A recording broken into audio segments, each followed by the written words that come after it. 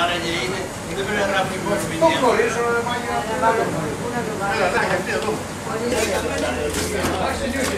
Τελείωσε. Δεν έχεις τώρα, ματάω τώρα.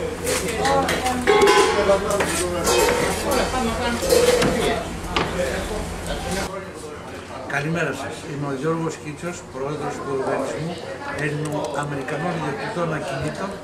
Α, σήμερα, α, Τετάρτη 21 Νοεμβρίου, παραμονή της ημέρας των ευχαριστειών.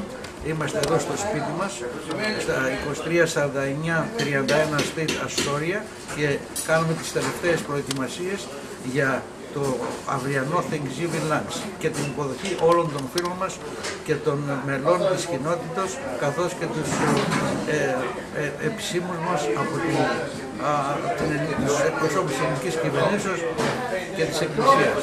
Όλα είναι έτοιμα, προχωρούμε πολύ καλά. Τα τρόφιμα έχουν συγκεντρωθεί, έχουν γίνει όλες οι προετοιμασίες.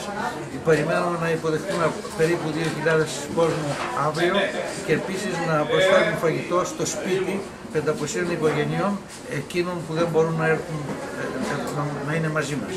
Επίσης α, αυτή η εκδήλωση θα αρχίσει στις 12 η ώρα και θα τελειώσει στις 4. Κατά τη διάρκεια της εκδηλώσεως θα υπάρχει μουσική με τον Σεραφείμ Λάζο και τον Τάσο Παπαϊωάννη. Σας ευχαριστώ, χρόνια πολλά και του χρόνου. Κάνουμε το, θυσ- αυτό το Thanksgiving για 29 ολόκληρα χρόνια. Όλοι αυτοί που βλέπετε εδώ πέρα είναι παρόν. Happy Thanksgiving! Happy Thanksgiving! Happy Thanksgiving!